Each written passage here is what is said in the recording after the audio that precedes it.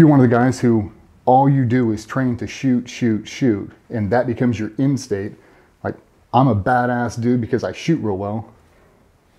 That's not really a thing either, because we're not just shooting everybody. That's not a thing. You can't just run around and shoot people. It's like even in the military, that is such a small percentage of everything you had to do. It's hard to quantify the amount of steps and the amount of years it takes to even get in position to shoot.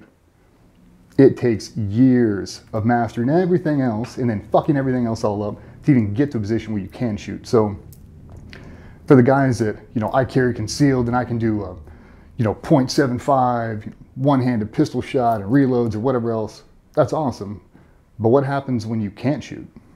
What happens when it's not it's not worthy of producing a pistol? What if it just gets physical?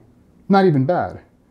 But if you're one of those dudes who talks a lot of shit because you can produce weapons from concealment and you think that's an actual thing, it's not.